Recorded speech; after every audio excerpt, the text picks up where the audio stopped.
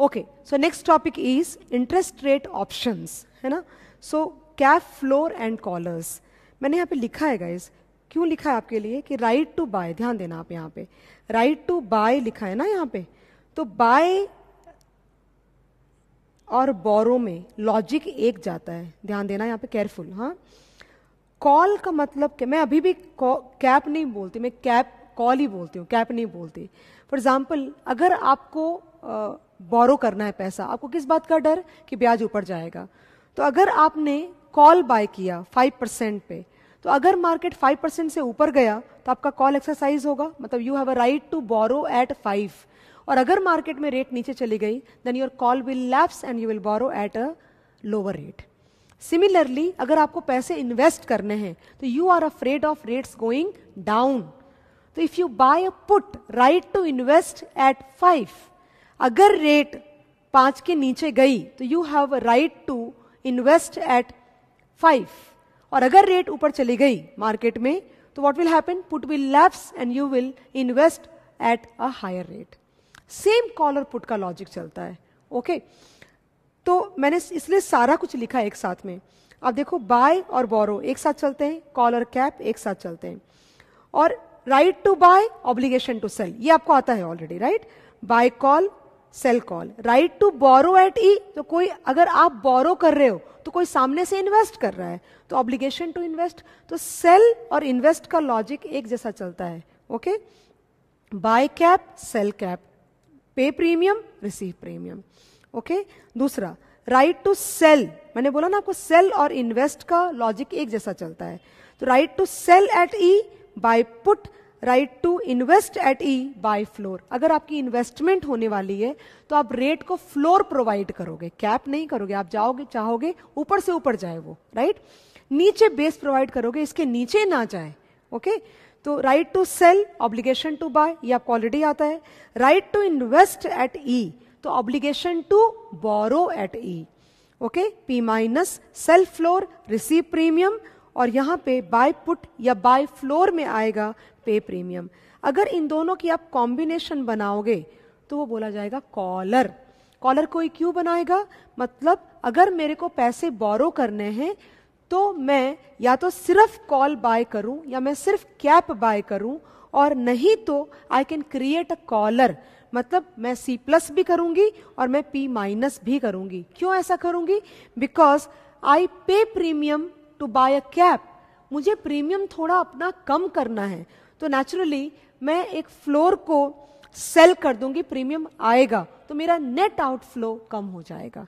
Similarly एक और collar बना सकते हैं, अगर आप इन्वेस्टर हो तो पी प्लस के साथ सी माइनस गैस मैं आपको एक सम फ्लोर का ही करा रही हूँ सॉरी कॉलर का ही करा रही हूँ, जहाँ पे दोनों आएगा ओके तो अपन देखते हैं, ये सम आपकी ऑलरेडी इंस्टीट्यूट का ही है एक्चुअली पेपर में अब तक नहीं आया है। Again I am very very optimistic on the sum आप प्लीज़ लिख के सम को करना, ताकि अगर पेपर में आए तो आप पूरा सम उतार देना।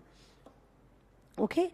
यहाँ पे सम आ रहा है। X Y Z in corporation issues a pound ten million floating rate loan on July first two thousand thirteen with resetting of coupon rate every 6 months equal to LIBOR plus 50 BPS. XYZ is interested in a collar strategy by selling a floor and buying a cap. You are already aware of this. XYZ buys 3-year cap and sells 3-year floor as per the following details on July 1, 2013. Principal का amount at $10 million, reference, reference rate, 6 month LIBOR, 4% for floor, मतलब basically C plus eight seven and P minus eight four इस case में premium आया और गया दोनों बराबर हो गए। कोई टेंशन नहीं है। Using the following data you are required to determine the effective interest paid out at each reset date guys यहाँ पे ना एक्चुअली आपको सच्ची बात बोलूँ तो रेट्स आपके टाइपिंग में थोड़ी इश्यू आई है। Okay okay? तो मतलब एक लगातार नहीं लिखा हुआ है। आप देखो ये हो गया आ, मैं दिखा देती हूँ आपको। One two three four five six careful रहना। छ डेट्स को आया है, ठीक है ना? और रेट्स दे रखी हैं। कैसे सम चलेगा? वो देखो आप। The borrower buys a cap and sells a floor on a principal of ten million dollars और hundred lakh of rupees C plus eight seven मैंने ऑलरेडी बोला आपको and P minus eight four percent Here assume that strike rate of 7 and 4 include spread of 0.5% and hence a LIBOR of reset will should also be include the spread of 0.5%. We add 0.5% to 8.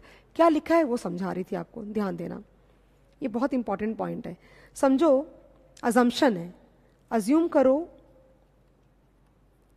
we assume that the spread is inclusive in strike. And hence it is a dirty rate okay? In order to compute payoff, we would add spread to spot समझा मैं क्या बोल रही हूँ? मतलब अगर आपने ये अज्यूम किया है गैस मैं जो सम्स करती हूँ मेरे हिसाब से उसमें मैं अज्यूम करती हूँ अब दिखाती हूँ आपको कि ये जो रेट्स आपके दिए हुए ना ये वाले ये जो रेट्स दिए हुए हैं ये रेट्स मैं फ्री रखती हूँ। मतलब मैं अज्यूम करती हूँ कि ये जो सेवन है और ये जो फोर है, ये डर्टी रेट नहीं है। मतलब ये सात और चार के अंदर में वो जो पॉइंट फाइव परसेंट का स्प्रेड बोला था ना, ये वाला, ये नहीं है। तो अगर ये नहीं है तो मैं क्या करूँगी कि ये जो रेट्स है ना आपके सपोज़ ये वाला रेट लेती हूँ छः तो सिक्स को सेवन के साथ कंपेयर किया जाएगा पे ऑफ़ निकालने के लिए, याद रखना okay okay? A clean rate would be compared with a clean rate to compute payoff. अगर आप 0.5 ऐड करना चाहते हो तो 6 को भी ऐड होगा और ये 7 को भी ऐड होगा। तो वापस से पे ऑफ़ तो सेम ही रह जाएगी तो दोनों का आप खुला रखो। लेकिन मैंने जब ये सम किया ना, अगर वो पॉइंट ऑफ़ व्यू से आप सोचोगे ना तो सेवन पे आपने कॉल बाय किया है सी प्लस तो आपके सारे पे, सारे लाइबॉर्स पे आपका कॉल लैप्स कर जाएगा। देखो ना छः सात से कम में लैप्स पाँच पे lapse three point two five पे लैब्स सेवन पे lapse three point seven five पे लैब्स और फोर पॉइंट टू फाइव पे भी लैब्स। तो मैंने जब ये सम किया तो मैंने अपने जो मेरी जो जिस हिसाब से मैं हमेशा करती हूँ, मैंने वैसे किया। बट देन एक जगह पे मुझे जब मैंने सोल्यूशन देखा तो मैंने देखा सेवन वाले पार्ट पे पे ऑफ़ था। और ये पे ऑफ़ तभी हो सकता है जब इन्होंने सात को 7.5 या साढ़े सात बनाया हो। उसके अलावा और कोई भी पॉसिबिलिटी नहीं बनती है। ओके सो इंस्टीट्यूट ने दो सम अपने को दे रखे हैं। मैं एक ही सम यहाँ पे ले पाई हूँ because it's a revision batch एक सम में उन्होंने अजम्पन एक लिया है, दूसरे में दूसरा लिया है। मैं कुछ नहीं कर सकती। आपको दोनों आने चाहिए। आप अजम्पन लिख के और आगे बढ़ जाना। ओके तो ये सम में जैसे उन्होंने सोल्यूशन किया है, मैं वैसे ही करवा रही हूँ आपको। ओके तो एक अजम्पन और क्या है? वो देखो आप। अजम्पन नंबर वन इस केस में अगर इंटरेस्ट कॉस्ट निकालना पड़ा तो आप पॉइंट फाइव ऐड करोगे। मेरे कहने का मतलब क्या हुआ कि दो मार्केट में आपका, आपकी बिहेवियर चलेगी। एक आपका चलेगा ऑप्शंस मार्केट में और एक चलेगा आपका कैश मार्केट में ओके तो कैश मार्केट में तो वो जो स्पॉट के रेट होंगे ना, वो स्पॉट के रेट में पॉइंट फाइव सब में ऐड करना ही पड़ेगा आपको, ब्याज निकालने के लिए। बिकॉज़ कैश मार्केट में वो स्प्रेड आपके लिए एप्लीकेबल होगा। तो आप उसमें ऐड करोगे ओके फॉर एग्ज़ाम्पल अगर रेट फॉर एग्ज़ाम्पल रेट लेते हैं अपन, यहाँ पे पहली वाली रेट छह परसेंट है तो छह में आप पॉइंट फाइव ऐड करोगे और फिर ब्याज कैलकुलेट करोगे। और लेकिन पे ऑफ़ में पे ऑफ़ निकालते समय आप सात माइनस छह करोगे अज्यूमिंग कि सात में स्प्रेड नहीं है तो छह में भी स्प्रेड ऐड मत करो पे ऑफ़ निकालने के लिए। ओके और फिर दोनों का सेट ऑफ़ लेकर के आप नेट निकालोगे। लेकिन अगर आपने ये अज्यूम कर लिया कि सात के अंदर और चार के अंदर पॉइंट फाइव है तो आपको पे ऑफ़ निकालने के लिए सारे स्पॉट में पॉइंट फाइव एड करना पड़ेगा, वरना it will be a big mismatch लेकिन ब्याज निकालते समय आपको दोबारा पॉइंट फाइव एड नहीं करना पड़ेगा। Okay okay? मैं ये बोल रही थी आपको। सो लुक एट ये क्या लिखा है? We assume that the spread is inclusive in strike and hence it is a dirty rate in order to compute payoff we would add spread to spot assumption number two we assume that the spread is not inclusive in a strike and hence we do not adjust it to spot to compute payoff.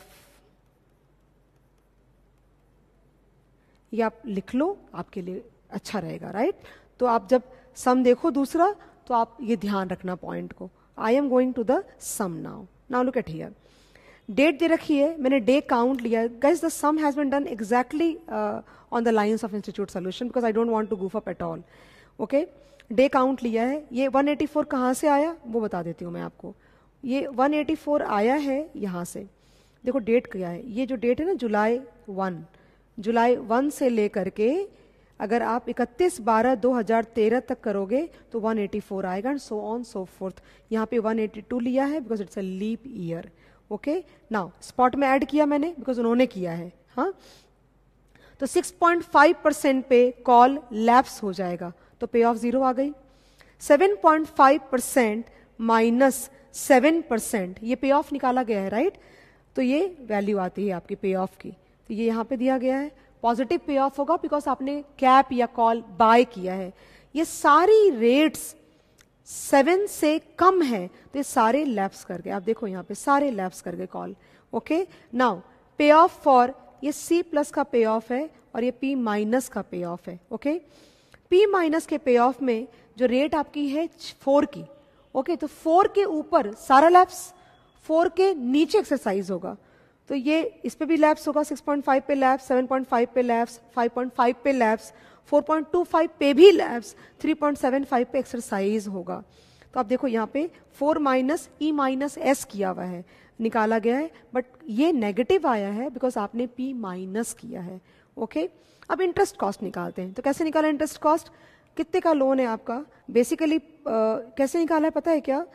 Hundred lakh rupees hundred lakh rupees into six point five percent ये जो rate लिया मैंने into one eighty four divide by sixty five ये करके rate लिया है तो three two seven six seven point two three इसी तरह से करके ये सारा निकाला गया है। फिर से एक और करके दिखाती हूँ hundred lakh into seven point five percent into one eighty one divide by three sixty five करते हैं तो वापस से आंसर सेम आ जाता है जो यहाँ लिखा हुआ है। उसके बाद ये तीनों कॉलम को हम लोग क्या करेंगे? नेट करेंगे। ये ये और ये तो आपके ये कॉलम में आउटफ्लो आ जाएँगे गाइस और ये पूरे को टोटल किया गया है। ये पूरे को टोटल किया गया है। टोटल करने के बाद ये जो टोटल डेज़ है ना, इसे डिवाइड किया। तो डिवाइड करने से क्या होगा? पर डे का ब्याज आया। उसको आप 365 से मल्टीप्लाई करोगे तो साल का ब्याज आएगा। अब ये जो साल का ब्याज है, वो रेट निकालोगे आप तो five point double three percent one four six zero point four five divide by ten million pounds into three sixty five तो फाइव पॉइंट थ्री थ्री या फिर इसको आप डायरेक्टली से डिवाइड करो तो भी answer five point three three percent per annum आ रहा है। ओके तो this is about the cap floor and collar sum किसी भी हालत में आपका कॉस्ट बेसिकली जो रेट आपकी कॉल की है ओके okay? सात से ज़्यादा या चार से नीचे नहीं जाएगा, ये याद रखना आप okay thank you so much and I think you like the derivatives a lot